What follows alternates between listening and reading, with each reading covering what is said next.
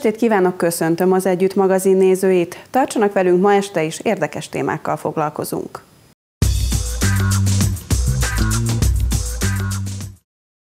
Ünnepélyes keretek között vehették birtokba a csákváriak a 700 millió forintos beruházással létrejött művelődési központot.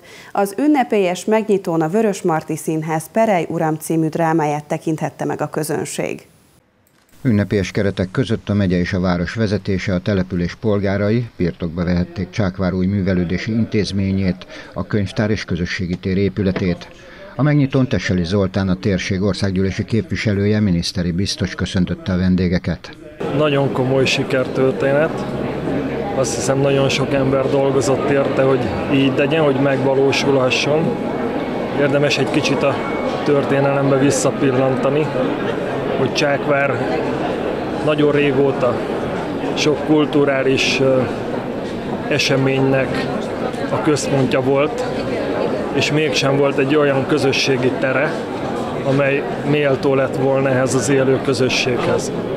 És most 2020-ban elmondhatja Csákvár és ez a környék, Pannonia szíve, hogy sikerült ezt megoldani, lett egy olyan méltó helyszín a kultúrának és a közösségi életnek, amelyre a csákvárjak büszkék lehetnek, és amely biztos vagyok benne, hogy tudja majd táplálni azt, hogy megmaradhassunk itt Magyarországon, Panónia szívében magyarnak, hogy tudjuk éltetni hagyományainkat, kultúránkat, és újra egy erős közösségé tudjunk kovácsolódni. Molnár Krisztián a Fejér megyei közgyűlés elnöke megerősítette, Csákvár polgárai számára fontos, hogy a régió központjában egy minden igényt kielégítő kulturális intézménnyel gazdagodhattak. Számunkra nagyon fontos az a minőségi magyar keresztény kultúra, amelynek megőrzésén szerintem minden településnek és a megyének fáradoznia kell. Ezekért az értékeinkért mindig ki kell állni. Itt Csákváron és a térségben ez egy hiánypótló beruházás, amelynek ma itt az átadásán vagyunk.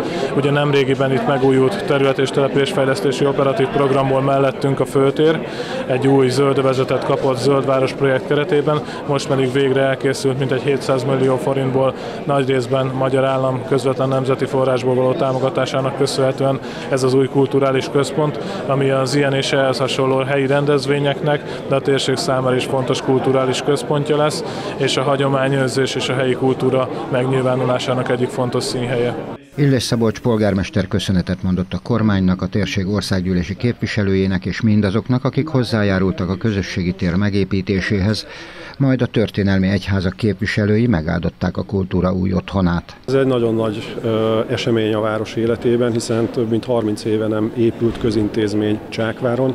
Szüksége volt a település méreténél fogva, illetve az itt élő emberek kultúrára való éjségére fogva is egy olyan multifunkcionális közösségi térre, ami most itt megépült. Milyen terveik vannak, hiszen nagyon is jól tudom, hogy mozgalmas életet él a település kulturális szempontból is. Igen, hát a igazgató úrral, a Szikor János igazgató úrral már több éve kapcsolatban vagyunk, úgyhogy a Vörös Marti Színház vendégjátéka az bízom benne, hogy szinte folyamatos lesz, illetve tárgyalásban vagyunk egy színházzal, akik otthonként használnák, tehát kőszínházként használnák majd ezt az épületet, így havonta egy-két színházi előadást tudnánk az itt élőknek prezentálni, illetve amellett pedig egyéb kísérő rendezvényeket. Miként fogadták a csákvári polgárok a, az új intézményt? Hát ma fogják birtokba venni, tehát bent az épületben még civilek úgymond nem voltak. Én bízom benne, hogy mindenkinek tetszeni fog. Azt gondolom, hogy a, az elkelt jegyek, elfogyott jegyek létszáma az bizonyítja, hogy hatalmas az érdeklődés, nagy az igény rá, hiszen a két napra teljes teltházat e, tudtunk e, produkálni, és még lett volna igény, tehát a három előadás is elment volna. Szikora János rendező köszöntőjében megidézte azt a két évvel ezelőtti beszélgetést, ahol is Illés Szabolcs polgármesterrel megbeszélték, hogy a Perely Uram lehet az a darab, amelyen megnyithatják a város új művelődési intézményét. Valamiképpen azt éreztem, hogy ez a színdarab, a Perely Uram, amit két évvel ezelőtt mutattunk be Székesfehérváron, és nagy sikerrel játszottunk, igazából ma este fog igazán hazaérni. Azért gondolom azt, hogy hazaérni, mert ez a történet, ez itt ezen a tájon született. 16 kilométer ide Csákberény. 10 perc alatt ott vagyunk autóval. 20 kilométer mór. és alig 50 km Nagyigmán. De ebben a szűk kis háromszögben zajlódott le ez a dráma több mint száz évvel ezelőtt. Ezek az emberek, ezeknek az embereknek az ősei még emlékeznek erre a történetre, és ez a történet most ma este ismét itt megszólal azoknak az embereknek, ahonnan tulajdonképpen ez az egész származott. Tehát egy nagy hazatérés színdarab szempontjából ez a mai este. Meg sem kérdezik, plébános úr, hogy milyen bűnei miatt vettük őrizetbe? Bűneim? Vágyait lehetnek ellenem, de bűnöm, amiről önöknek kellene számot adnom, nincsen. Ön kihallgatási eljárásnak vettetik alá, vizsgálatot Alois von Hartwig császári és királyi dragonyos főhadnagyúr vezeti. A Vörösmarty Színház Perejúram előadása Sobor Antal egyszerű, tiszta, megrázó erejű drámája ismét elementáris érzelmeket szabadított fel. Pannonia polgárainak szíve együtt dobbant az 1848-49-es forradalom és szabadságharc áldozatainak emlékére.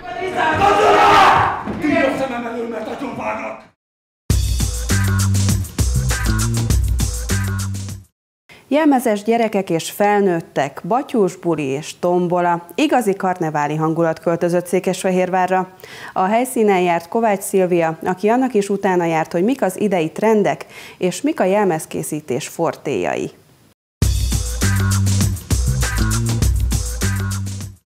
Más nem is tehet a riporter egy ilyen helyszínen, ahol mindenki átváltozott valamivé, mint hogy maga is állarcot ölt.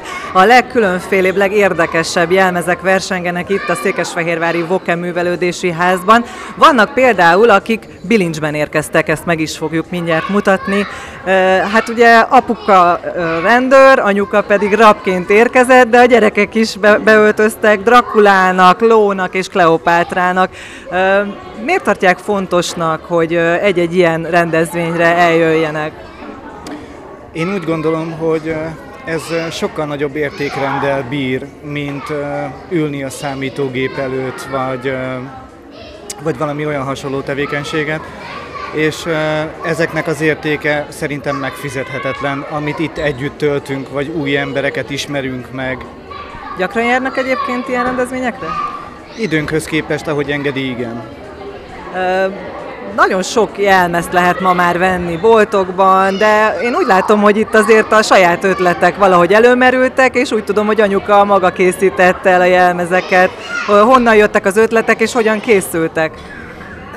A rendőrjelmez az egy boltban vásárolt, és ehhez jött hozzá az ötlet, hogy akkor legyen egy bandita, egy, egy, egy rabló is. Ez lettem én. Ez egy régi pizsama, a nagypapám régi pizsamája. A gyerekek pedig szintén saját készítésű a, a jelmezek, átalakítottak Kleopátra, ő például régebben vartam a a nagyfiamnak, és ő Egyiptom hercege volt. Ezt most a Laura, a lányom diszítette, és ő lett belőle Kleopátra egy paróka segítségével. Szomszédasszonyom készítette a saját kislányának a lójelmezt, úgyhogy és a Dracula jelmez is saját készítés. Tehát akkor a gyerekek is közreműködtek, és akkor ez, ezek szerint ez is lehet egy otthoni jó elfoglaltság, hogy közösen készítik el az ilyen jelmezeket. Így van, tegnap este három órán keresztül dolgoztunk együtt a lányommal. Köszönjük szépen! És itt van mellettünk a rendezvény szervezője is, Fedor Bence, akitől azt kérdezem, hogy ugye egy régi hagyományt elevenítettek fel a mai napon, és újra hagyományt szeretnének teremteni ebből a farsangi bából. Mi minden vár ma itt a résztvevőkre, és miért tartják fontosnak, hogy újra legyen Székesfehérváron ilyen rendezvény? Hát igen, ez egy régi hagyománynak a felélesztése, amit régen a szüleim és a nagyszüleim csináltak, de mivel most mi már felnőttünk, az unokatestvéreimmel meg a testvéreimmel, úgy gondoltuk, hogy is szeretnénk most már, mivel régen nagyon szerettük és élveztük ezeket a rendezvényeket, meg úgy tűnt, hogy minden ember élvezi és szereti ezeket, gondoltuk, hogy most megpróbáljuk mi, és ha ez jól sikerül, akkor innentől kezdve ebből is hagyomány lenne. Igazából itt mindenféle programok lesznek, lesznek fellépések, most például a jelmezverseny zajlik éppen, ami két korosztályba is indul, aztán majd 7 órától lesz a tombola sorsás, és ezen kívül lesznek táncos fellépések, lesznek mindenféle műsorok, amiket megpróbáljuk szórakoztatni kicsit az embereket. Mi lesz a jutalma egyébként a legjobb jelmeznek, az ötletnek, és mit díjaznak egyébként? Azt, hogy mi az ötlet, hogy hogyan valósult meg? Hát igazából van három zsűritag, akik kivála- hát körbe járnak az emberek, és kiválasztják a legjobb jelmez, jelmezze, azt hiszem a legjobb három jelmezben jött e, embert, és ők mindenféle ilyen kézzel készített ajándékot, meg különféle jutalmakat kapnak. Láttunk, hogy számos ötletet láttunk már az este folyamán. Vannak-e trendek? Hát igazából nincsen trend, de mindenki olyan jelmezbe jön, amit szeret, vagy ami, ami úgy érzi, hogy neki való. Köszönjük szépen! Tehát ahogy hallhattuk, láthattuk, nem az a fontos, hogy mi a divat, hanem az, hogy hogyan készülnek el a jelmezek, lehet ez egy családi program, és hát egy farsangi buli, az pedig mindenképpen ö, csapatot és közösséget teremt kovácsol, úgyhogy mindenképpen érdemes részt venni még ezekben a hetekben, hónapokban az ilyen rendezvényeken.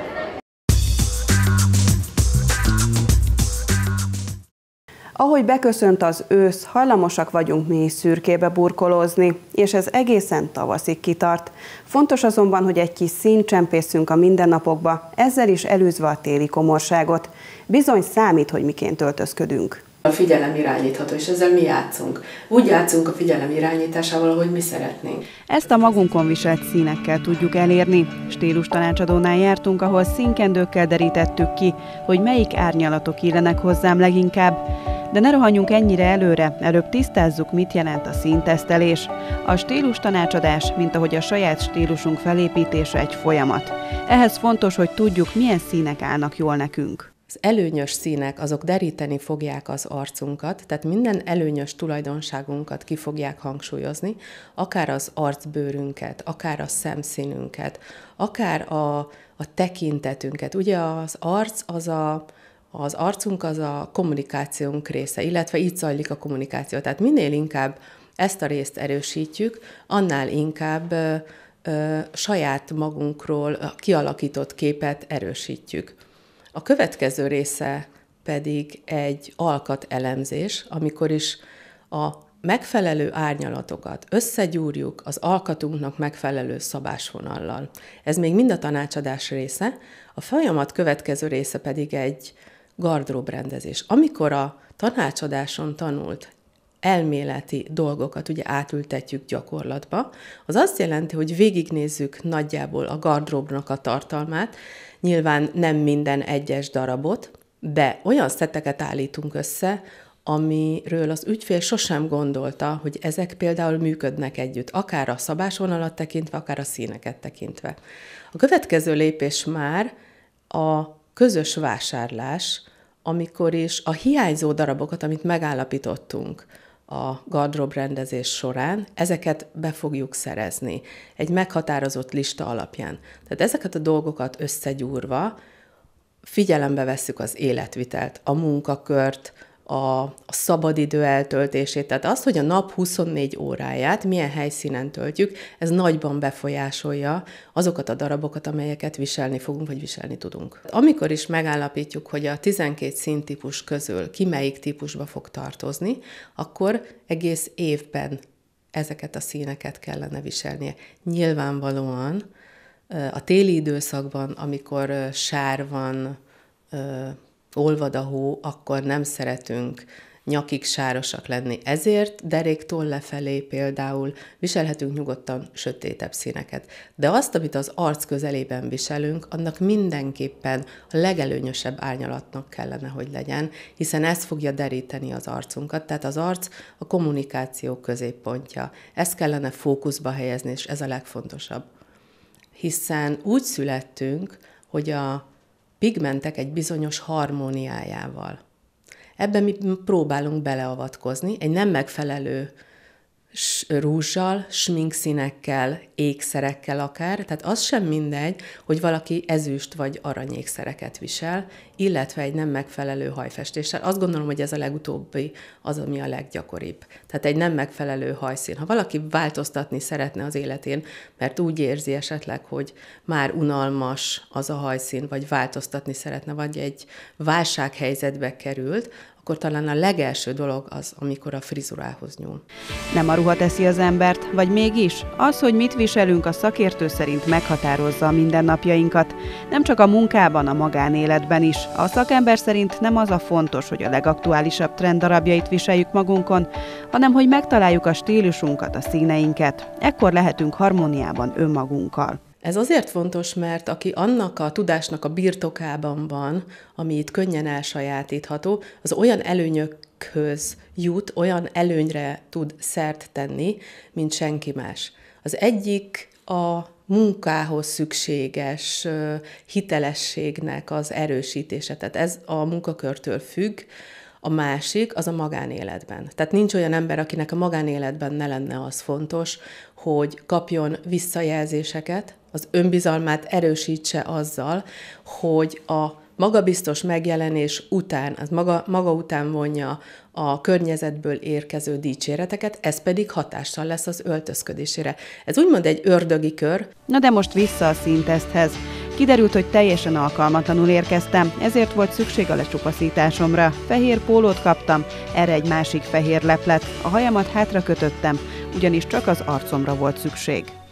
Első körben akkor nézzük meg a fehérnek a négy árnyalatát, ami egy-egy évszakot jelképez. Ezeket most az arcod elé fogom helyezni, és egy pár másodperces különbséggel fogom ezeket levenni, és meglátjuk, hogy milyen hatást fog kiváltani az arcod, tehát milyen fizikai hatást. Ezután jött a többi szín.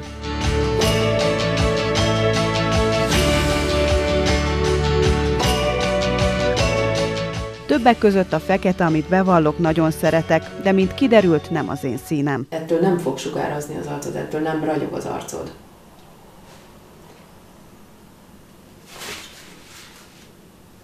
Már a feketéhez képest, pedig ez egy sötét éjkék, már azért változás van.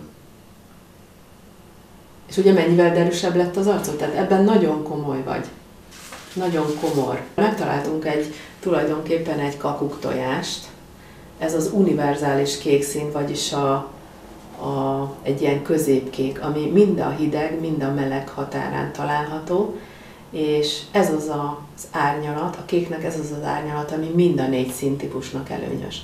Tehát ez lehet egy bázis ruhadarab, akár blézerben, szoknyában, nadrágban, ruhákban, és ezeket lehet, vagy ezt lehet kiegészíteni egyéb más színnel. Tehát ez egy olyan nyugalom, egy olyan bázisdarab, amire nyugodtan lehet építkezni. Persze az sem mindegy, hogy mekkora felületen viseljük az adott színt.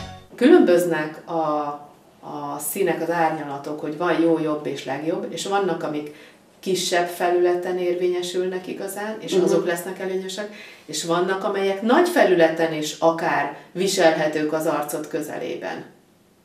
Tehát azok lesznek a legjobb árnyalatok. Ami kisebb felületen, azok olyan, hát azokkal úgy lehet úgy barátkozni, de nem biztos, tehát amikor a legjobb formádat szeretnéd hozni, akkor biztos, hogy a legesleges legelőnyösebb árnyalataidat kellene használnod.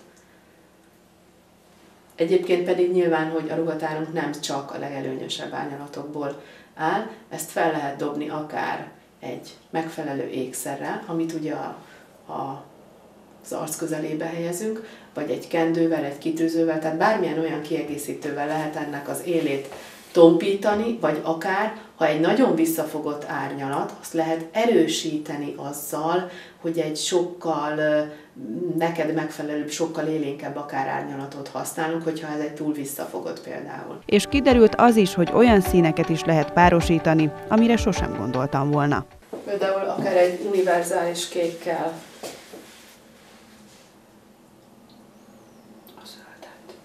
Igen, zöld a fű és kék az ég. Aztán kiderült, hogy hideg nyártípus vagyok. Kaptam egy tablót, melyen azok az árnyalatok szerepelnek, amik hozzám passzolnak. A vezető színtulajdonsága ezeknek az, hogy hideg színek, tehát amiben kékeseket, lilásokat mm. látunk, és az alapja ezek a kékek, lilák és szürkék. A színeknek pedig főleg ebben a komor időben felértékelődik a jelentősége, nem csak a viselőjére, hanem annak környezetére is hatással van. Megfigyelhető, ahogy szeptembertől, tehát ősztől elkezd egyre hamarabb szürkülni, úgy az emberek kezdenek a ruházkodásban is erre hasonlítani. Tehát elkezdődik a szürke, a fekete és a barnák korszaka. És ilyen sötét árnyak ö, indulnak el az utcákon, amikor is ö, ugye olyan, mint egy ilyen temetői hangulat. Én azt mondom, hogy ha rossz kedvűen ébredtünk, ha, ha rossz a kedvünk, ha az időjárás nem kedvez tényleg, és ez nagyon befolyásol bennünket, éppen ekkor lenne kötelező színeket használni. Hiszen a színeknek olyan pszichológiai hatása van, amelyek befolyásolják a hangulatunkat, az életérzésünket. Tehát akkor, amikor az időjárás mondjuk azt követelné meg, hogy szomorkás a hangulat, szomorkás az időjárás, akkor próbáljunk meg ennek ellenére színeket használni. Hiszen ezek hatással lesznek a környezetünkre, a mi hangulatunkra is. A stílus tanácsadó a jegyes párok figyelmét is igyekszik felhívni erre, hogy egyáltalán nem mindegy, hogy milyen árnyalatot választanak. Erre hozta létre ezeket a többszínű próbaruhákat. Mind a fehérnek, mind a pirosnak vannak különböző árnyalatai. És ezek az árnyalatok fogják azt e, megmutatni, hogy akár lehetünk tíz évvel fiatalabbak vagy öregebbek, tehát tudja deríteni az arcunkat, vagy lehetünk fáradtak, nyúzottak, betegesek, vagy lehetünk egészségesebbek, vagy egészségesebbnek kinézvek, vagy valóban a saját tulajdonságainkat leg, leginkább ki tudjuk erősíteni, vagy fel tudjuk erősíteni. A változás pedig nem egyik napról a másikra történik.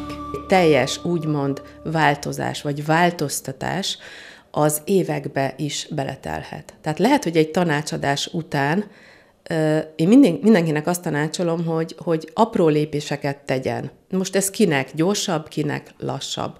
De az, hogy egy ruhatárat teljesen átalakítson, ez nyilván pénzkérdése is, de nem csak pénzkérdése, hanem egy komoly szelektálás.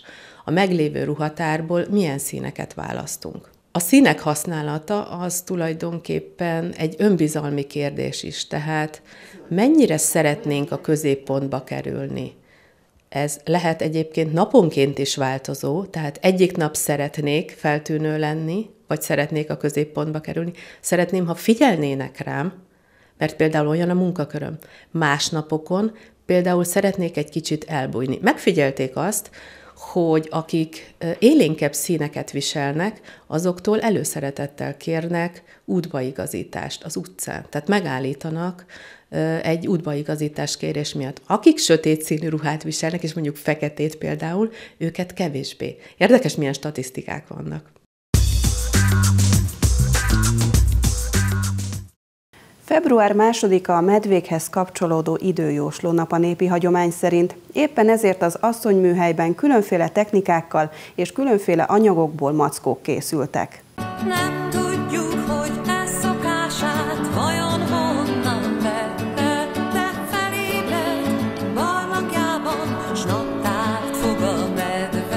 nagy volt a sürgés-forgás, készültek a mackók a kézművesek házában szombaton. Sok család érkezett a foglalkozásokra, ahol a legkisebbek is könnyedén elsajátíthatták a különféle technikákat szüleik segítségével. Hunor és édesanyja már nem először látogattak el a Rác utcába. Azért látogattunk ide, mert karácsonykor is itt voltunk, amikor bábelőadás volt, illetve gyerekprogramok, és szerettünk volna újra kézműves tevékenységeket végezni. Filcből készítettünk mackókat, aztán készítettünk még egy ilyen kést, illetve papírmackót. Ezen kívül még mézes kalácsül.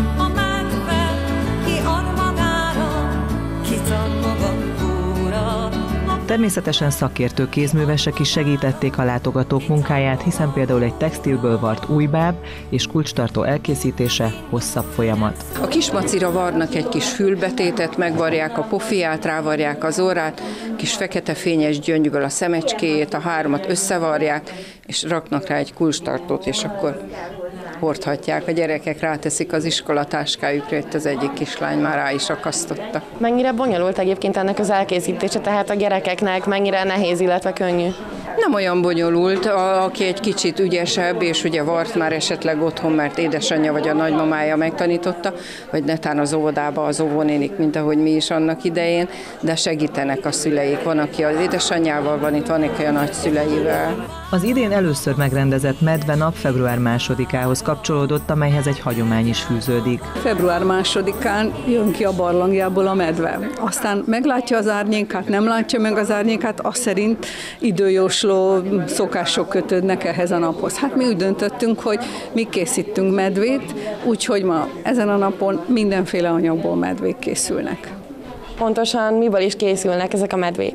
Hát lehet medvét készíteni varrással, lehet horgolni medvét, lehet új bábot filcből készíteni, lehet sütni, mézes tésztából, lehet faragni fából medvét például, vagy kifesteni a, a faragott medvét.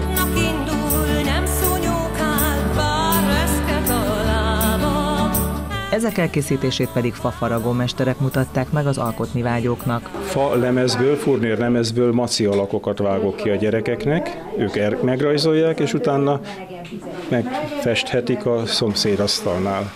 Mennyire bonyolult ennek az elkészítése, hogyan segítik a gyerekek munkáját?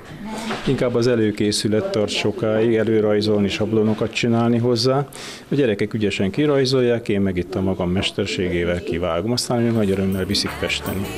A különféle foglalkozások mellett az érdeklődők megtekinthettek egy kiállítást is, ahol 60, 65 és 70 éves medvékkel is találkozhattak.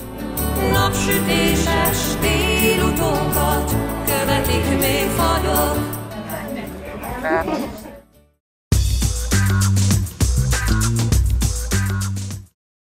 Kedves nézőink, ez volt már az Együtt magazin. Én köszönöm megtisztelő figyelmüket, hogyha tehetik, tartsanak velünk továbbra is, jövő héten pedig a megszokott időpontban újra várom majd Önöket. Viszontlátásra!